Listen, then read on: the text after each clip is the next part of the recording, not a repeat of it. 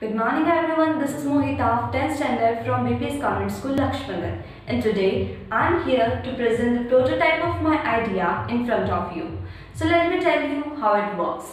So first of all we have here the stand for our mobile when we are studying.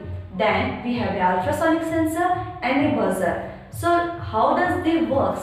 So basically, if you will not appropriate distance from this mobile phone, then it will start making the noise because many of the children are facing problem that their eyes are getting affected from this mobile phone because they are not maintaining the appropriate distance. So I solve this problem by using this idea. Then we have the LEDs which will show that now it is relaxation time. You should relax your eyes and your body and you should take a break.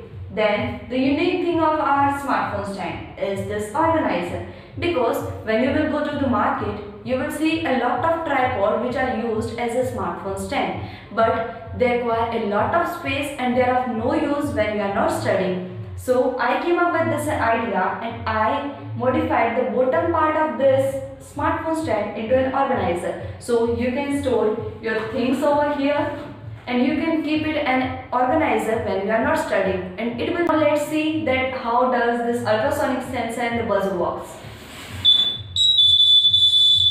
Now this is the appropriate distance you should maintain from the stand so that it is good for your eyes and you can keep studying. Now if i cross the line let's see how it reacts So it will start making the noise. So this is how my project works. It's a project giving the children a happy and healthy school life. Thank you.